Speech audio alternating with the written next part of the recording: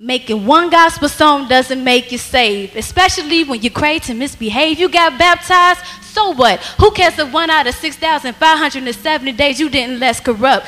They come up with 50 different ways to say I shot you and 100 ways to claim that's not my baby's mama and brag about how touchable they are. Ignorantly using profanity, GDB, this, MF, FU, what the F? When can I F? Smoke this S that smells like S. You listen to that fifth, go ahead, slap yourself. Jay Z, slap yourself. Eminem, slap yourself. Ja Rule, slap yourself and knock yourself out.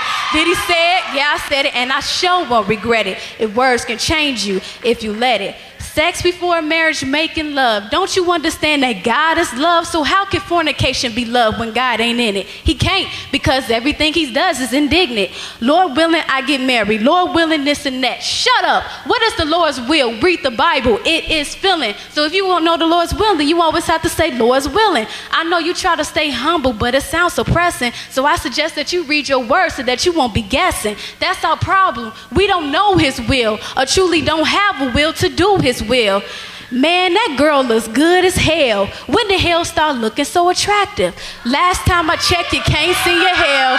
You burn, worms eat you, and it smells. Did he say it? Yeah, I said it, and I sure won't regret it. If words can change you, if you let it, I'm out.